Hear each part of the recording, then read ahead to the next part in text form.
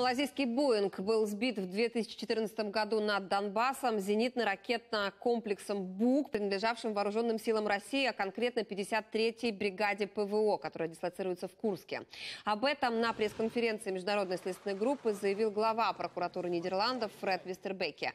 Ранее Еврокомиссия призвала Россию к реальному сотрудничеству в расследовании, поскольку россияне так и не предоставили ответы на вопросы Международной следственной группы. Петр Порошенко надеется, что уже в ближайшее время обвинения передадут в суд. Зло будет наказано, а справедливость восстановлена, написал президент Украины в своем фейсбуке.